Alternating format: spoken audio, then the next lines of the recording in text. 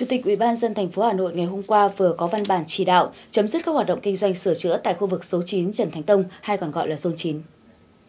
Theo đó, yêu cầu công ty cổ phần đầu tư phát triển Bình An là đơn vị quản lý khu đất số 9 Trần Thánh Tông phải chấm dứt các hoạt động kinh doanh sửa chữa, quản lý sử dụng nhà đất theo đúng quy định của pháp luật.